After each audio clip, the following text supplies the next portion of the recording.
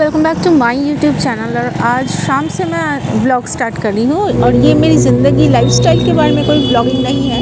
ये वीडियो है दुर्गा पूजा बंगाल की सबसे बड़ी फेस्टिवल जो कि जा चुकी है। पूजा आ रही है वाली एक्साइटमेंट ख़त्म है। और पूजा आकर जा भी चुकी है। लेकिन पूजा की यादें अभी भी हमारे माइंड में हैं और ज़िंदगी भर रहेगी। और 2023 के इस awesome Durga Puja roaming pandal hopping and overall experience को मैं फिर से शेयर कर रही हूँ आपके साथ ताकि ये रिफ़्रेशिंग मोमेंट आप सभी को बहुत सारी अच्छी यादें दे। जैसे मुझे दे रही है।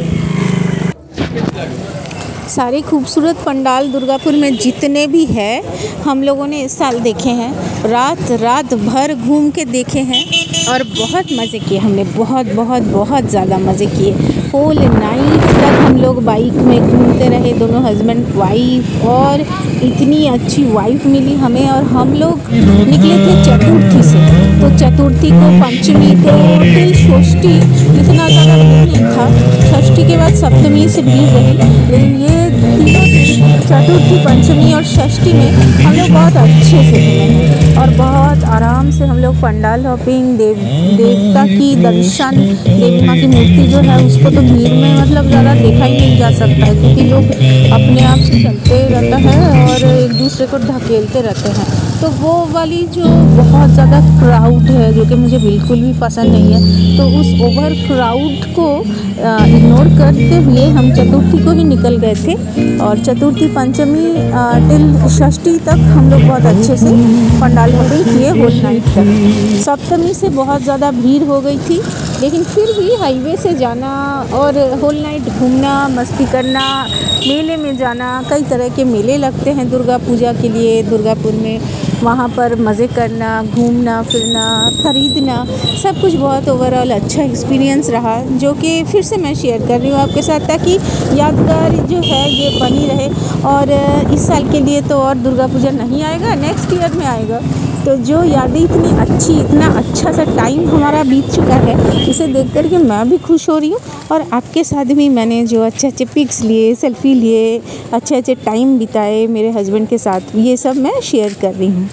और ये देखिए सप्तमी की इवनिंग जिस दिन पूर्णिमा श्रेष्ठा जी नाइन्टीज़ की जो सिंगर है, वो आई हुई थी हमारे दुर्गापुर में। और बिल्कुल मेरे मायके के पास में ही सिटी सेंटर बोलते हैं। इसको चतुरंग यहाँ पर आई हुई थी और हम लोगों ने मज़े लिए इस फ़ंक्शन के।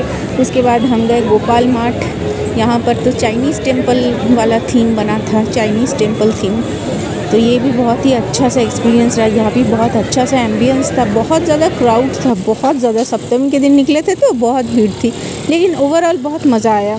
और हमारा मुगलई खाना, उसमें मेले में जा कर के ठीक है, और एक जगह है, उसको बोलते हैं डूमूर तोला यहाँ भी बहुत मज़ा आया। और ये पूर्णिमा श्रेष्ठा जी का फ़ंक्शन चल रहा था।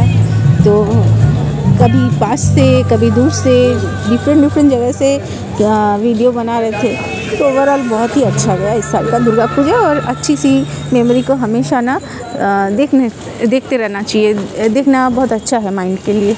तो मेरे साथ आप लोग भी खुश रहिए साल भर बी पॉजिटिव कीप स्माइलिंग